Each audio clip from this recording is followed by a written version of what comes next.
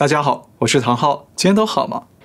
中国有网络视频扬言中共要用核弹攻击日本，是真的吗？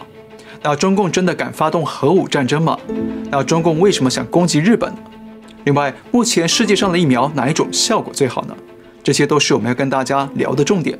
那今天我们会用问与答的形式来跟大家聊。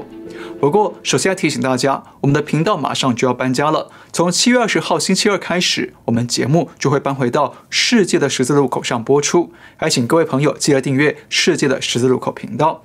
那至于为什么要搬家呢？我们等会再说明。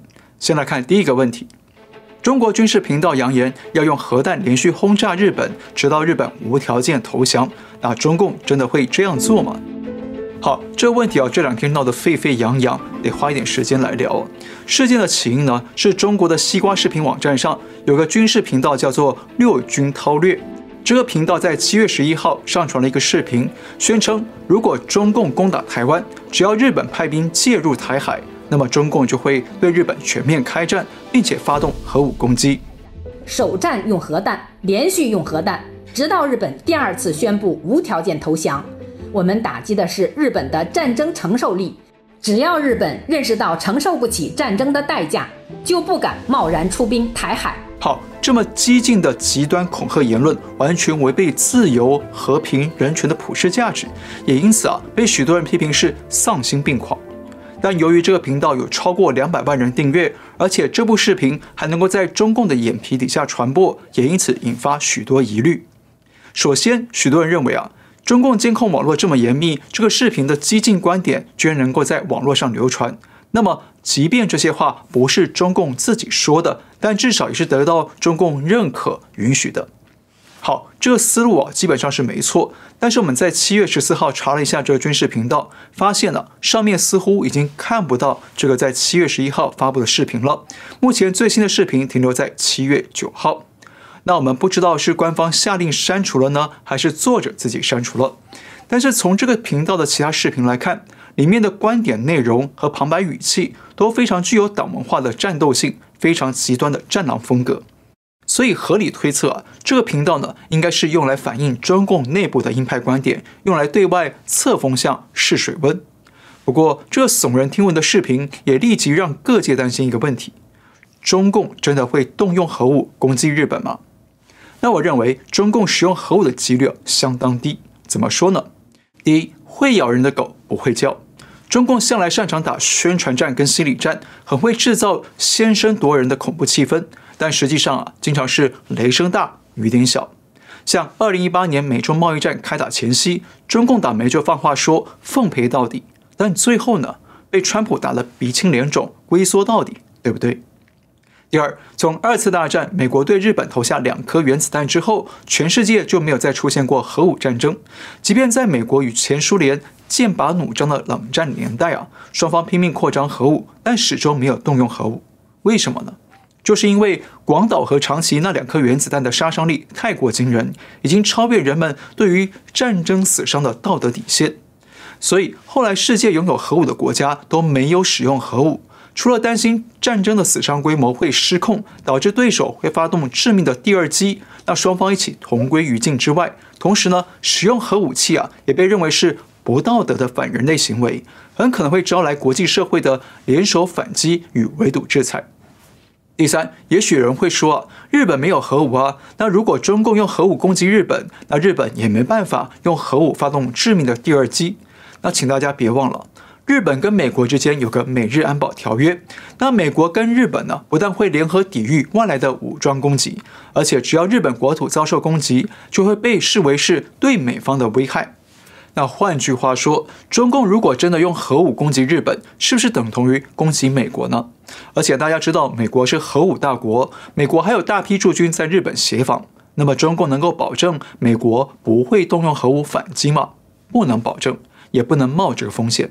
所以呢，说白了，中共与美国之间通过日本的代理啊，形成了一个相互保证毁灭的关系。也就是你可能对我发动毁灭性攻击，但我也有能力发动毁灭性的反击。那大家一起玉石俱焚。那这种相互保证毁灭的存在，也就形成了一种恐怖平衡，让彼此呢都不敢轻易动用核武。而且，即便日本没有核武，但日本也很可能像台湾一样，针对中共都预先部署了一套刺猬战略，或者是毒蝎战略。也就是当中共对我方发动致命攻击的时候，那我方就会祭出特殊的不对称战术去反击中共的多个要害，对中共形成损失极大化的伤害。虽然不能同归于尽，但至少也要了中共的半条命。第四，假设中共真的跟美国打起核武战争，那么中共的核武数量与规模能跟美方抗衡吗？显然是差距悬殊哦。根据斯德哥尔摩国际和平研究所最新报告，目前美国拥有五千五百五十个核弹头，其中有一千八百个核弹头已经部署待用，是全球最多的。而中共目前拥有的核弹头推估大约是三百五十个，但由于中共军事信息的高度不透明，其中有多少核弹头已经部署了还不清楚。不过呢，从核武的数量以及技术的稳定度来看，中共是明显落后于美方。所以，中共如果真想用核武攻击日本或者台湾，那中共就得考虑美方启动核武反击的严重性。所以，我认为啊，中共动用核武攻击日本的可能性应该是相当低。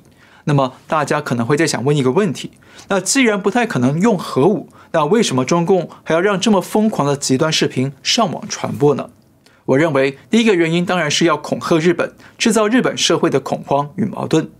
因为日本近期不但连续三次捐赠台湾大批疫苗，帮助台湾抵抗中共的疫苗统战，日本还在防卫白皮书上首度表明，台湾的稳定对日本的国防安全很重要，日本必须高度重视。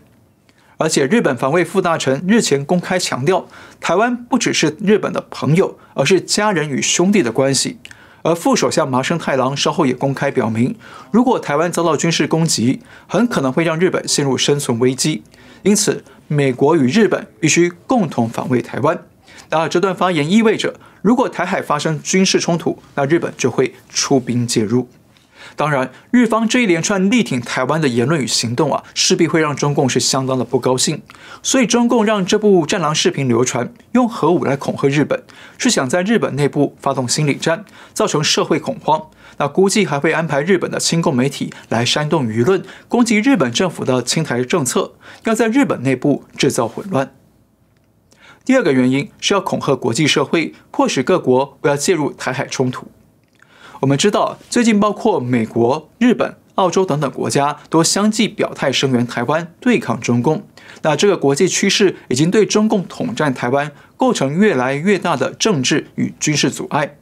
因此，中共也想要通过这种非理性的极端武力恐吓来敲打世界各国，警告各国不要介入中共对台湾的军事冲突，否则中共啊要拿下台湾将会越来越困难。还有第三个原因，就是中共刻意在煽动国内的民族主义情绪，在巧巧酝酿新一轮的反日行动或仇日行动。那大家还记得，习近平在七一党庆的演讲上宣称，如果外来势力想要欺负中国，就会碰得头破血流。其实这段发言背后啊，中共已经在刻意煽动中国人民的民族情绪，告诉人民中共被外国欺负了，目的是要动员党国不分的人民们组成人肉盾牌来保护共产党。那现在呢，中共又让这么仇恨日本、攻击日本的视频在网络上流传，其实就是另一种添柴加火的手法，在酝酿更大的仇日情绪，随时为中共所用。所以接下来我们可以推测，这段极端的核武视频可能会带来一些后续效应。首先，日本的亲共媒体可能会在接到中共的恐吓指令之后，从日本内部发起舆论战与宣传战，来煽动民众反对日本政府的侵台政策，否则可能就会遭到中共的核武攻击。